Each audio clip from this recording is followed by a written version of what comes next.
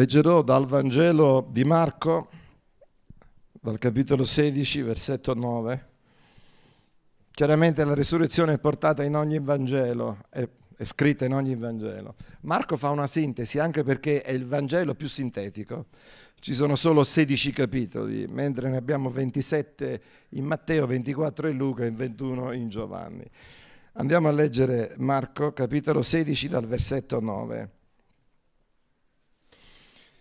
Ora Gesù, essendo risuscitato la mattina del primo giorno della settimana, apparve prima a Maria Maddalena, dalla quale aveva scacciato sette demoni, ed ella andò e l'annunciò a quelli che erano stati con lui, i quali erano afflitti e piangevano.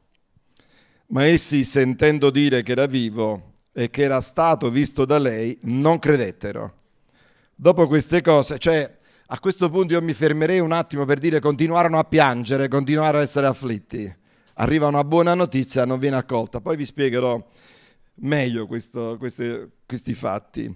Dopo queste cose apparve in altra forma due di loro, i discepoli sulla via di Emaus, che erano in cammino verso la campagna. Anch'essi andarono ad annunziarlo agli altri, ma non credettero neppure loro. Infine apparve agli undici mentre erano a tavola e li rimproverò. Certo, il fatto di apparire a tavola è abbastanza particolare. Dice, adesso state a tavola, adesso vi faccio vedere io come, come bisogna mangiare. Cioè, andò un attimo a rimproverarli mentre stavano mangiando. Forse era il momento meno opportuno, secondo noi, ma Gesù sceglie i momenti che vuole. Amen. Questo ci fa capire come dobbiamo essere attenti in ogni istante, in ogni istante perché in ogni momento a tavola o guardando la tv oppure camminando parlando, può arrivare un rimprovero da parte di Gesù. Sapete che il Signore rimprovera? Ma rimprovera sempre per migliorarci. Amen.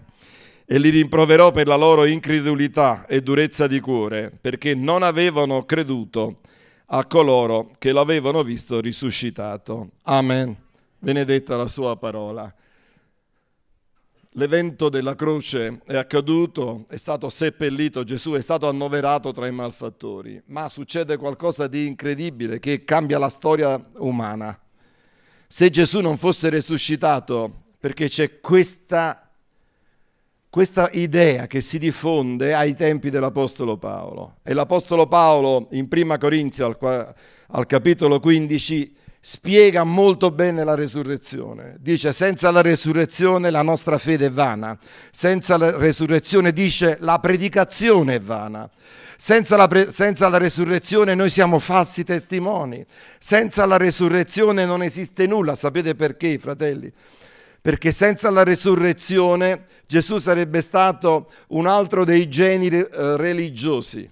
Come ci sono i geni matematici, i geni nella, nella, pittura, nella scultura, i geni che ci sono nella canzone, nel canto, così ci sono stati nella storia dei geni religiosi che hanno, che hanno in qualche modo eh, concepito dei credi nella storia. Ma Gesù è venuto ed è risorto, l'aveva annunciato, distruggete questo tempio in tre giorni, io lo rifarò e mantiene la promessa. Lui risuscita, viene risorto. Dice la parola che il Padre spiegò la sua potenza per risuscitarlo. Quindi cambia la storia della fede, cambia la storia delle fedi e dà alla fede cristiana una vittoria su tutte le fedi. Significa dà il primato, il primato di Gesù Cristo, perché esiste un unico solo vero Dio e un unico Salvatore che è Gesù. Dio Padre, Dio Figlio, Dio Spirito Santo. Lui dà il primato, perché nessuno può predicare che Gesù è risorto, nessuno può dire che hanno altri risorti. Non ce ne sono, solo il nostro Signore è risorto per non morire più. Nella parola del Signore ci sono diverse resurrezioni. Cominciano nel Vecchio Testamento, con Elia e Eliseo compiono due resurrezioni, ma la resurrezione di Gesù è per non morire più. Mentre una volta risorto anche Lazzaro è entrato per la morte, è passato per la morte, Gesù, una volta risorto, non muore più, riprende la sua gloria. Lui disse ai discepoli della via de Maus, mentre stava sulla via de Maus, ricordatevi, Se leggete eh, in modo eh, pignolo questo passo, voi vedete che i discepoli non parlano mai del Messia, parlano Gesù il Nazareno, ma Gesù il Nazareno come è limitato, è Gesù Cristo il Nazareno. Cioè Gesù è Nazareno, sì, ma è il Messia, è il figlio di Dio.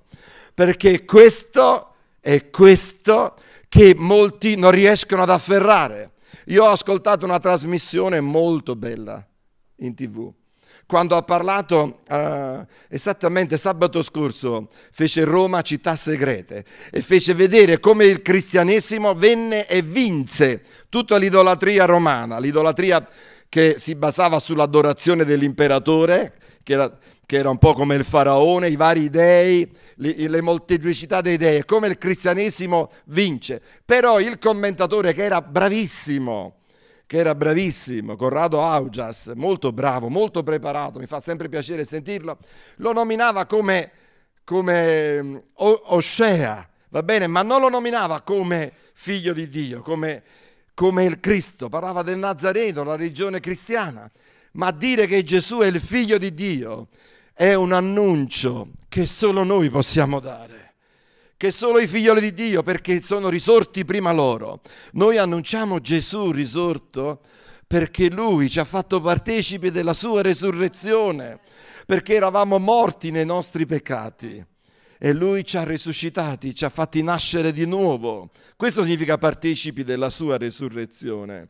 È venuto tramite qualcuno o qualcuna e ci ha parlato di Gesù e noi siamo stati risuscitati risuscitati, siamo stati tirati fuori dalla tomba, siamo passati dalle tenebre alla luce, siamo passati dal potere di Satana al potere di Dio, dalla potestà, dice la parola di Dio in Atti 27. Allora la resurrezione è un fatto eclatante, importante, determinante, perché Cristo è risorto, amen. E lo diciamo a tutti, Cristo è risorto, amen. Gesù è risorto. E come ha promesso, come tutte le sue promesse nella parola si sono avvenute, sono avvenute così lui ha promesso che ritornerà nella sua potenza, nella sua gloria. E come dicevo prima ai discepoli della via dei Maus, lui dice così, non doveva il Cristo soffrire tale cose? Lui parla proprio così. Mentre loro parlano di Gesù il Nazareno, lui dice il Cristo, il Messia doveva soffrire. Perché il Messia è sempre stato visto come un generale potentissimo che doveva in qualche modo aggiustare tutta la dominazione, uh, liberare gli ebrei dalla dominazione, oppure re, met, re, uh, fondare un regno dove tutto sarebbe stato giusto. Non è così. Di Gesù dice a Pilato, il mio regno non è di questo mondo, perché nel mondo non c'è giustizia, pace e gioia che c'è nello Spirito.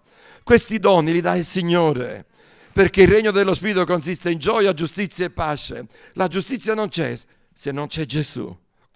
Così non c'è pace, perché Gesù disse io vi do pace, vi do la mia pace, non quella che il mondo vi dà, non quella surroga, no quell'imitazione, la pace che Cristo dà è la pace che noi, che noi stabiliamo, riceviamo da Dio, siamo in pace con Dio.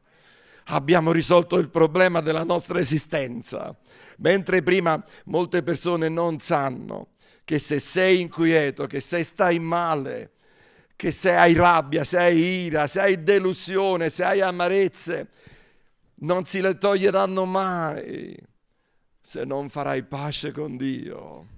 E non è, e guarda, voglio dirti una cosa, potrai fare pace con tuo marito, potrai fare pace con i tuoi genitori, potrai fare pace col tuo vicino, col condominio, con tante situazioni che nella vita pensa, magari, magari colpevolizzerai, darai colpa a tante persone de, della mancanza tua, che ti senti male, adirata, che stai male. Non è così, non è così. Voglio dirti che queste situazioni le viviamo anche noi, le abbiamo vissute anche noi e molti di noi le hanno vissute peggio queste condizioni, ma siamo risuscitati, Gesù Cristo ci ha liberati. Probabilmente può darsi pure che domani affronteremo le stesse situazioni tue, ma con Gesù è un'altra cosa, è un'altra speranza, è un altro sostegno, è un altro conforto, è un'altra, è un'altra condizione, è tutta un'altra cosa. Vuoi mettere a stare con Gesù? Gesù soffre con la Chiesa, ha empatia, sta con noi, Gesù ti capisce ed è l'unico che ti può capire. Guarda, mia moglie mi capisce in tutto e io capisco lei e così tu capisci tua moglie e i tuoi figli, capite tutto, ma nessuno può capirci come ci capisce Gesù. È incredibile la resurrezione cosa ha comportato nella nostra vita. Ma voglio sottolineare alcune cose che riguardano i discepoli perché ti può incoraggiare voglio incoraggiarti a credere questa mattina. Non voglio mettermi dalla parte di dire come sono bravo che credo, no. Io sono stato un non credente e poi per grazia sono diventato credente e voglio incoraggiarti a credere, a, an- voglio incoraggiarti a, a, credere che anche se stai vivendo la, la condizione peggiore, anche se stai in una condizione tremenda, voglio incoraggiarti a credere e a sperare in Gesù Cristo perché è Lui che ti libererà. Questi discepoli, questi cari uomini di Dio, undici erano rimasti perché il dodicesimo, non in ordine, ma Giuda si era suicidato. Lui ha fatto la scelta sbagliata, il figliol di perdizione è perduto, è, è colui che ha tradito Gesù e quindi non c'è più si suicidò, si impiccò perché rifiutò la grazia e l'appello del Signore. Ma, era, ma, in effetti Gesù lo dice, io ho scelto voi dodici, ma in mezzo a voi c'è un demine.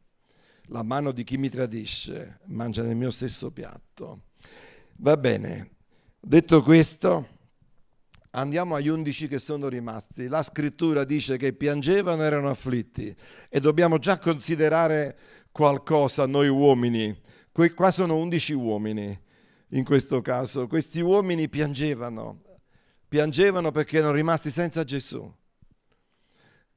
erano stati con lui e sentono la privazione, sentono la mancanza della figura umana di Gesù, sentono la mancanza di quella voce, sentono la mancanza di quegli occhi, la mancanza di quei gesti, di quei rimproveri. Ma Pietro eh, era, stato, eh, era stato ripreso fortemente, anche Giacomo e Giovanni, ma ne sentono la mancanza perché senti, si sentivano amati, protetti, uniti a lui, si sentivano speciali con lui e loro piangevano ed erano afflitti, però il Signore aveva insegnato loro a credere. Lui voleva che credessero anche attraverso gli altri, perché la fede si trasmette attraverso persone, persone incomplete, non perfette. Persone incomplete, non perfette. Ma ciò che ci rende perfetti è il messaggio. Perché il messaggio che sto dando anche questa mattina è più grande di noi, è più grande di me. Noi parliamo di Dio, parliamo di Gesù, dello Spirito Santo. E allora i discepoli dovevano imparare, perché Gesù era interessato al loro pianto.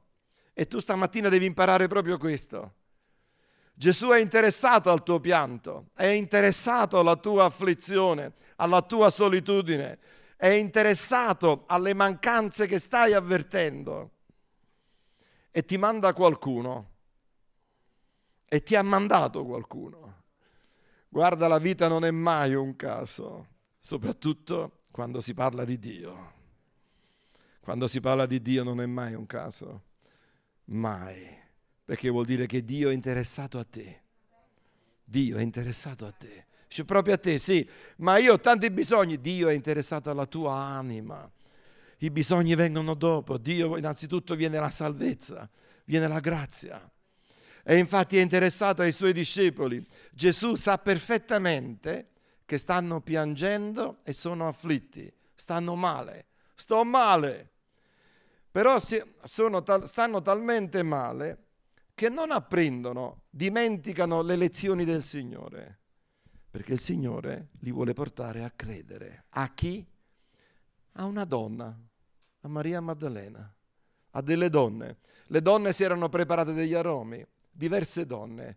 Maria Maddalena, Maria madre di Giacomo, Salomè, Giovanna, andarono all'alba, andarono all'alba e pensavano come, rotolo, come, sarà arrotolata, chi ci aiuterà a togliere quella pietra. Stanno i soldati, avevano tante, tanti pensieri e tanti ostacoli, ma la forza di queste donne è che andarono. La determinazione, il dovere, dobbiamo andare. Ci sono i soldati, sì, vedremo lì. Sono, c'è la pietra, va bene, ma cominciamo ad andare, cominciamo a camminare. Questa è la fede nostra. Cominciamo a camminare, poi Dio provvederà. Comincia a credere, poi Dio provvederà. Non cominciare a fare i patti con Dio, Signore, se fai questo, se fai questo. No, questo non è il metodo di Dio. La fede comincia a camminare e poi Dio comincia ad operare. La nostra azione corrisponde ad una reazione da parte di Dio. Se non ti muovi mai, Dio non si muoverà mai. Sei tu che devi muoverti. È la donna dal flusso di sangue che toccò Gesù. So, è il cieco Bartimeo che gridò, c'è qualcosa che tu devi fare. Così queste donne andarono, trovarono gli angeli, perché poi il Signore ha gli angeli, ha i suoi angeli, chi toglierà la pietra, chi metterà a posto, chi... Guardate fratelli, Gesù poteva uscire anche senza muovere la pietra. Il problema è togliere la pietra affinché entrassero. Pietro e Giacomo, do, Pietro e Giovanni che dopo corsero per entrare.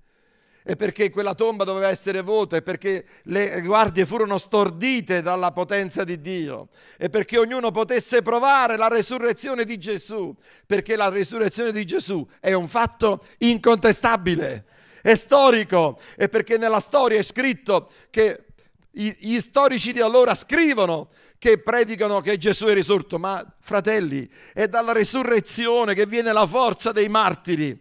È perché Gesù è risorto che fino ad oggi esiste il cristianesimo e progredisce nonostante tante difficoltà. Perché la fede del Signore porterà sempre la sua Chiesa avanti, sosterrà sempre la sua, la sua sposa.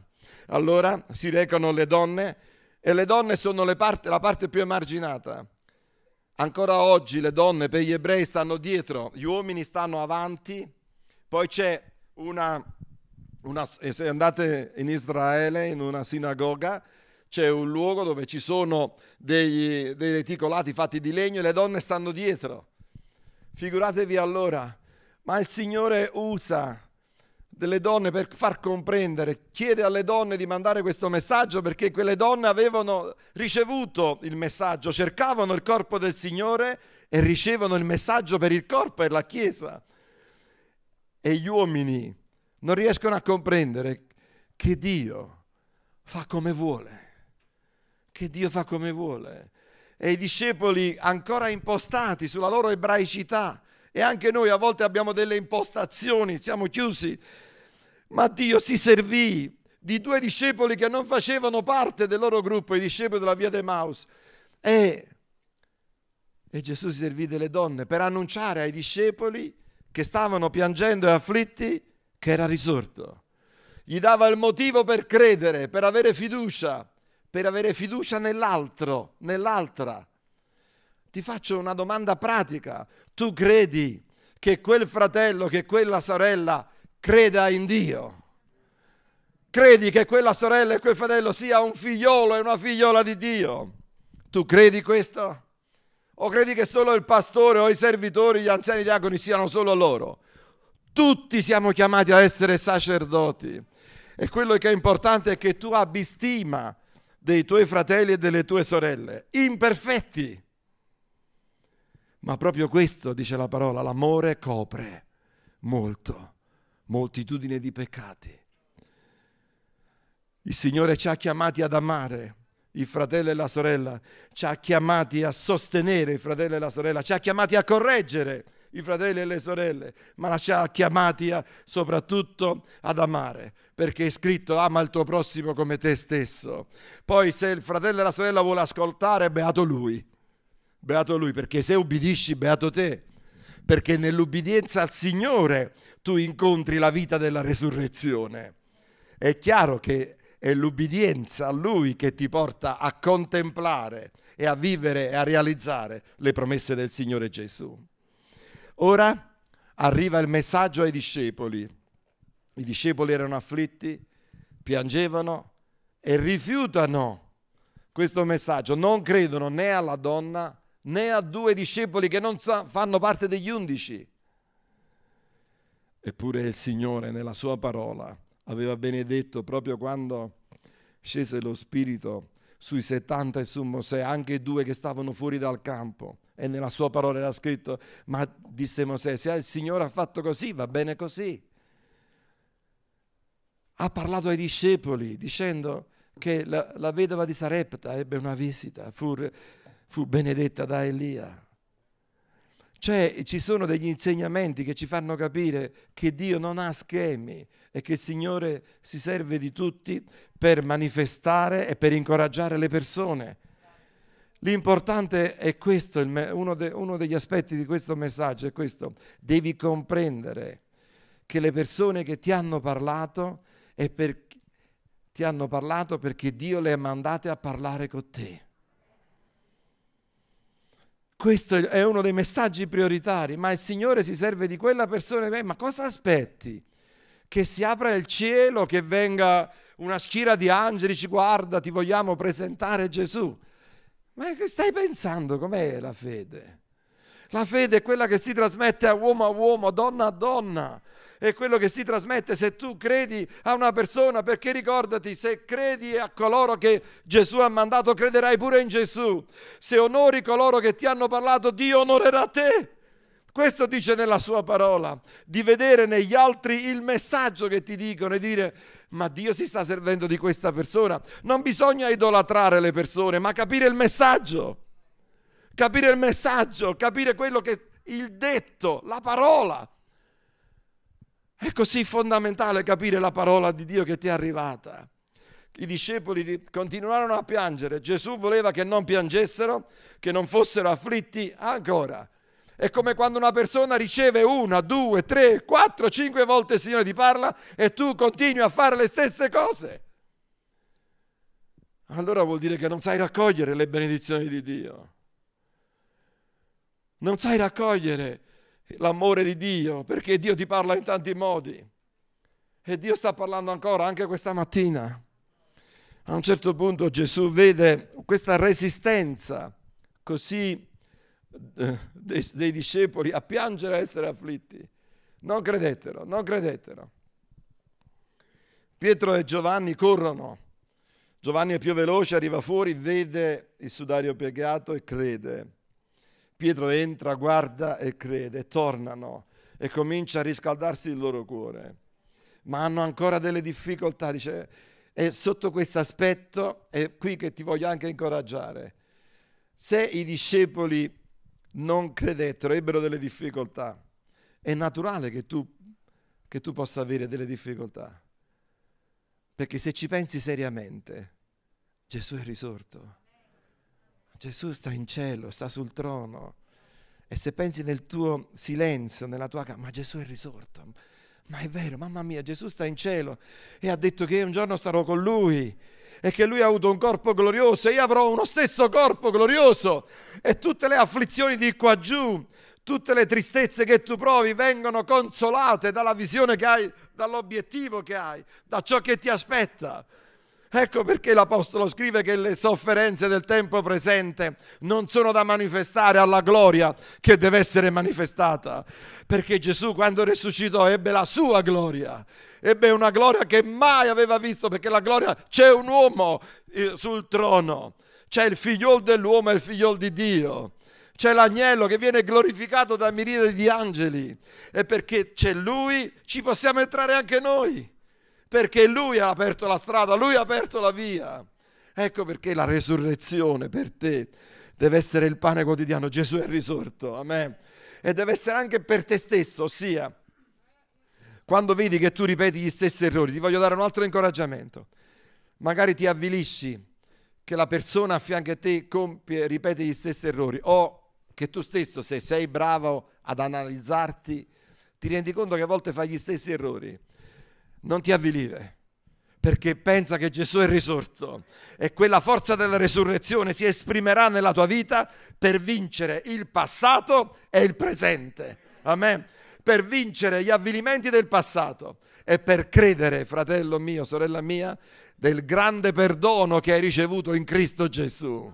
Questa vita vittoriosa che ti entra dentro di te, che è gioiosa, gloriosa, ineffabile, dice l'Apostolo Pietro è qualcosa che è dentro di noi e che nessuno ci può togliere perché ce l'ha data il Signore. I discepoli non se l'aspettavano, ma a tavola il Signore si presenta. Allora questo significa, ricordati, non ti as- aspettati che Dio si manifesti attraverso lo Spirito Santo nel momento più inopportuno della tua vita. È incredibile. Quando tu nel momento in cui non ti aspetti, il Signore arriva. Amen. Io lo so che fa così. L'ho provato diverse volte nella mia vita e sono convinto che se ognuno di voi potesse parlare, ripeterebbe le stesse cose. Mi direbbe anche io, non avevo più speranze, all'improvviso si è aperta qua una porta. Ma quella porta non te l'ha, te l'ha aperta il Signore non è perché sei bravo, perché no, è perché lui ti ama. È perché lui ti ama, ti ama, ti ama. Ricordati, non ricevi le cose perché sei buono, perché lui ti ama di un amore eterno, dice nel Cantico dei Cantici. E perché ascolta il tuo grido, perché ha visto che stai con le spalle al muro e arriva lui e dice non ti preoccupare, figlia mia, figlio mio, adesso la sfondo io la porta, amen? Ed è lui che fa così con la sua chiesa con ognuno di noi. E così ha fatto con i discepoli. Guardate, allora non credettero neppure ai due discepoli sulla via dei Maus.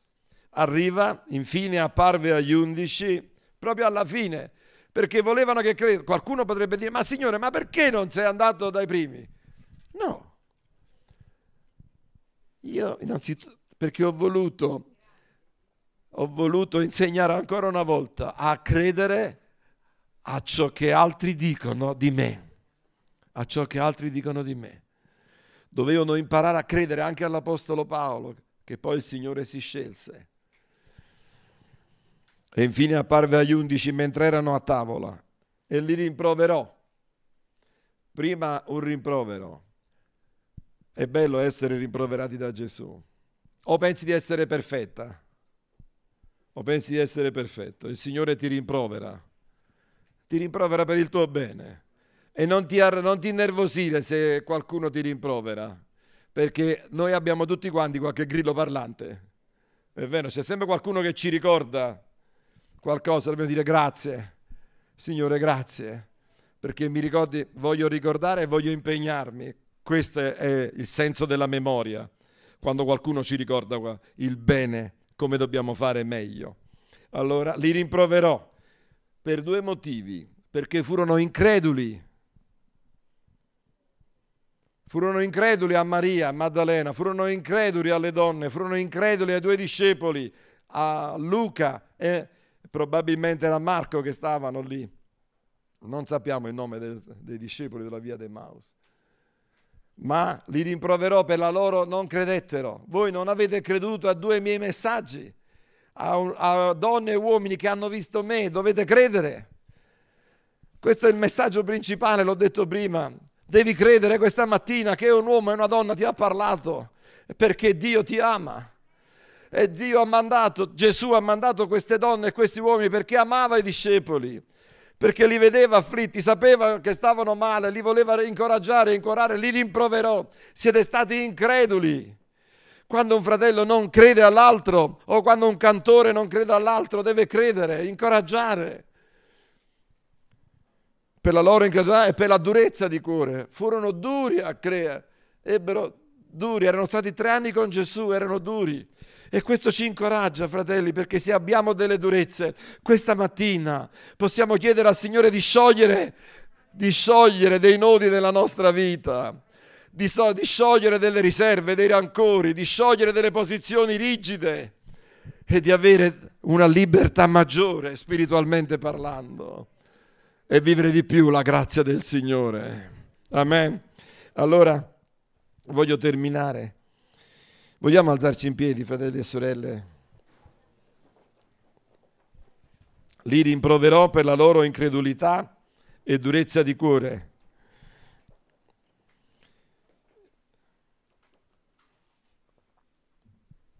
Erano sbalorditi. Un'altra cosa voglio dire, non li compatì. Qualcuno ma, ma stavano male, ma sta male, fagli una carezza. No, no. Gesù non gli fece una carezza. Voi dovevate credere. Li rimproverò. Lui poteva rimproverarli, anche perché la gioia della sua presenza avrebbe superato ogni rimprovero. La gioia di Gesù nel tuo cuore supera ogni difficoltà. La gioia di tenere Lui nella tua vita deve superare ogni difficoltà. Amen. Perché non avevano creduto a coloro che l'avevano visto risuscitato. Amen. Li rimproverò. Vuoi essere rimproverata perché non credi questa mattina alla parola di Dio? O non credi a coloro che ti hanno parlato? Anch'io sono stato risuscitato. Ero morto nei miei peccati, sono risorto. Sono risorto. Stavo in una bara pur vivendo, ora sono risorto in Lui. Se siete risuscitati in Cristo, dice la parola di Dio. Siete risorti, fratelli e sorelle, siete amen. Ricordatevi a voi stessi quando state io sono risorto in Cristo Gesù. Signore, io rivendico le tue promesse, abbi pietà di me e le mie richieste non sono per bramosia di potere o perché chissà cosa voglio, ma perché mi sento povero e ho bisogno di te, e ho bisogno di te, ho bisogno di Gesù. Così la, la vita della resurrezione che poi ne parlerò domenica, ha dei riflessi, delle conseguenze, dei riscontri enormi nella nostra vita quotidiana. Vogliamo ringraziare il Signore che un giorno o qualcuno ci ha rimproverato o qualcuno ci ha parlato, ma vogliamo ringraziare il Signore perché oggi possiamo dire sono risuscitato con Cristo. Amen. Sono risuscitato con Gesù. Sono risuscitato, guarda, nella sua vita, non nella mia vecchia vita. Sono risuscitato nella sua, nel suo amore, nella sua gioia, nella sua onestà, nella sua castità, nella sua bellezza, nella sua bontà, nella sua benignità, nel suo perdono. Sono risuscitato nella sua verità. Amen. Sono, questo significa risuscitare. Questo non è solo una parola, è una vita. Amen. Gloria a Dio. Che meraviglia che abbiamo a disposizione. Non ti avvilire, non ti scoraggiare, perché Gesù è risorto. Amen. Gloria al Signore.